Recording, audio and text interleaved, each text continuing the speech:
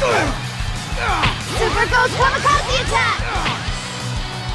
Five-man finished with Ghost Stone Special Beam Cannon!